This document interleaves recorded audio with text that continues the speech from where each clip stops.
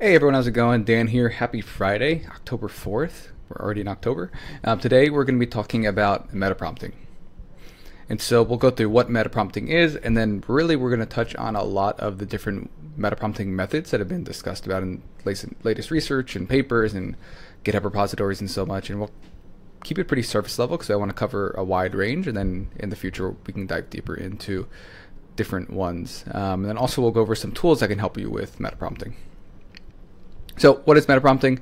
Um, I think it is a prompt engineering method. Uh, so, it's, I think it's underneath the kind of prompt engineering umbrella, where you basically use LLMs in some way to help you create and refine your prompts. And so, that could be, you know, using Anthropic's prompt generator to get a first version of a prompt up and running, um, or it could be some of these more kind of in-depth and um, you know more technically advanced methods that we'll look at today. But generally, just having an LLM involved in the process, in the same way that you would have an LLM involved in the process when you're writing a blog post, you can do the same when you're writing a prompt.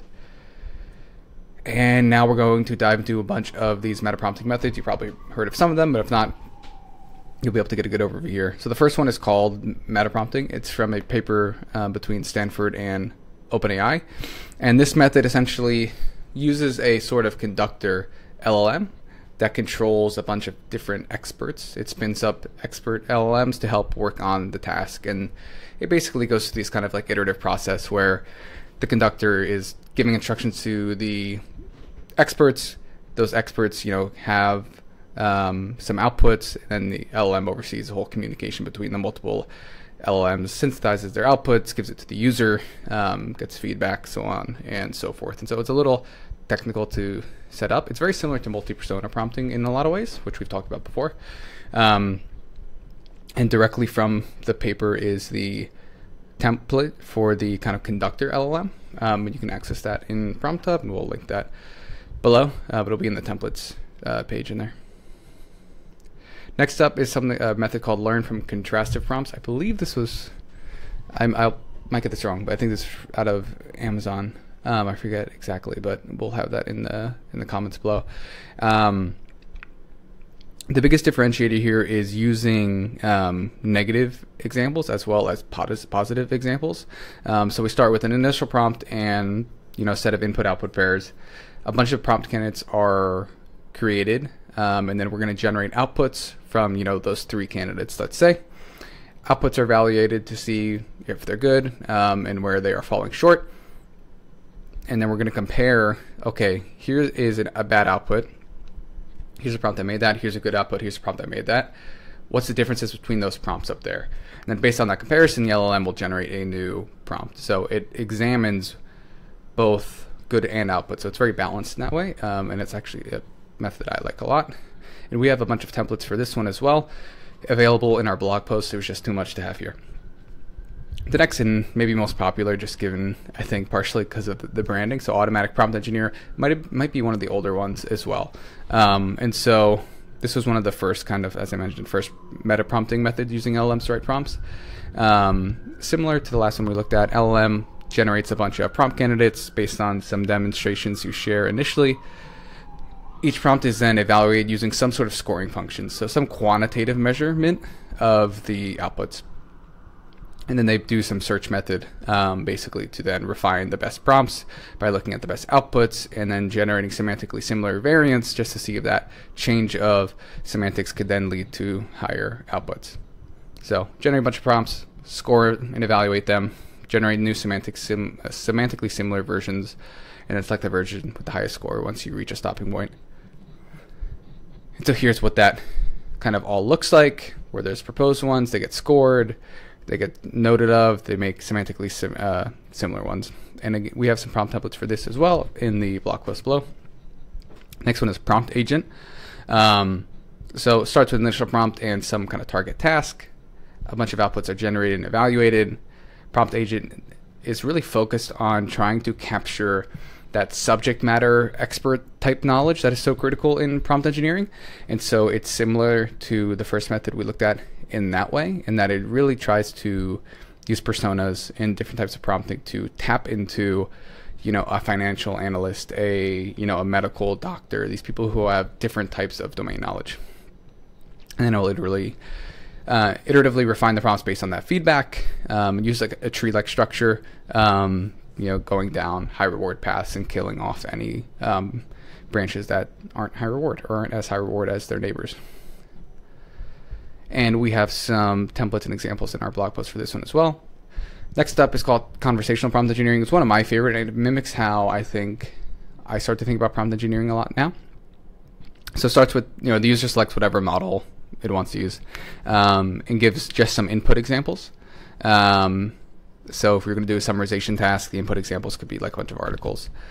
Uh, the user and CPE, which in this case is just like a chat interface, go back and forth in a chat, and they kind of talk about, okay, we want the prompt to do this, and output that is good would look like this. This is what we don't want.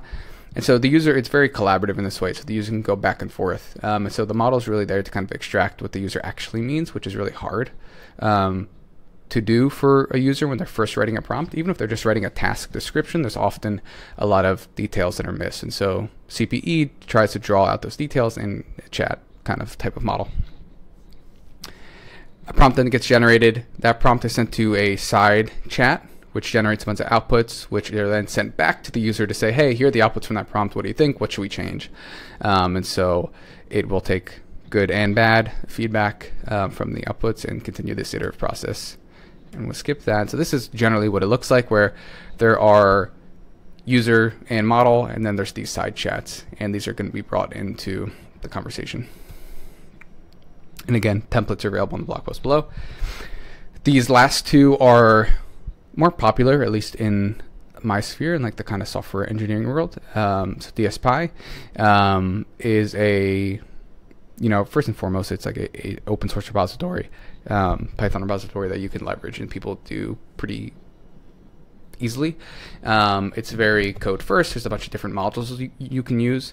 Um, in general, what it does is create these kind of pipelines that allow you to automatically um, refine and iterate on prompts using scoring mechanisms. So we'll get like an initial prompt. It'll go through a pipeline that involves output generation and some scoring method, and then it will get feedback based on the low scores, and it kind of try to put that back into the prompt, and then generate new prompts, and hopefully again rescore and score higher.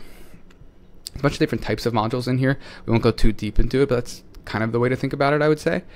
Um, so the LLMs do a lot of different things. They will generate the initial prompts, they'll evaluate their prompts, they'll refine them, um, they'll collect the feedback from the users in this um, refinement process as well. And you know, it's adaptive, it's code first, um, and it's easy to kind of uh, wield in that way.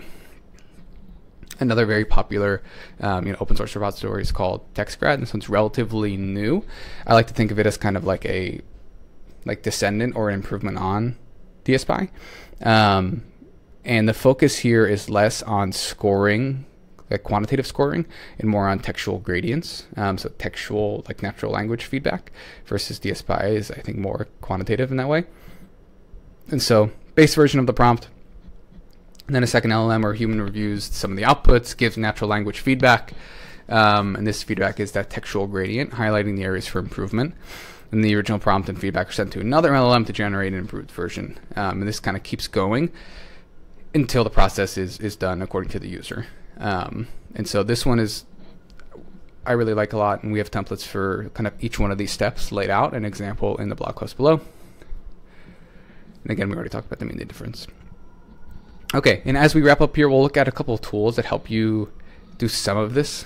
So we have a prompt generator and PromptHub. Um, it will adjust based on the model provider you're using. So you just give your prompt a name, select whichever model provider, input a task description, and then we will generate a prompt tailored um, to that model provider because every every model provider is different. Even the models within um, the same family or the same company are different. You know, O1 versus GPT-4o require different prompting, and it's free to use. Anthropic is a great one. I think they kind of really do a great job across all of their prompt engineering efforts. It's accessible in their dev console. They open source the meta prompt itself, which I think is great. Um, it's tailored for Anthropic models, and you have to use your tokens to do it. It's still quite cheap, uh, but just something to know. And then just this past week, OpenAI launched their own system instructions generator um, inside their playground, so you can generate system instructions for whatever task you're working on. Um, it's only system instructions, and it's not available for the O1 models yet, since those don't support system messages. And again, tailored uh, for the OpenAI models. And through a little bit of prompt injection, um, we are able to pull out the what we believe to be the system instruction generator um, prompt, so the meta prompt behind it, and we added that to PromptHub. If you want to check it out, um, add it to your library. You can, you know, create a project with this as a template as well. Um, and I think that is it for today. So happy prompting. If you have any questions about any of this meta prompting stuff, let us know. If there's anything you want us to go deeper in, let us know as well. We plan to go deeper in a few of these areas. See ya.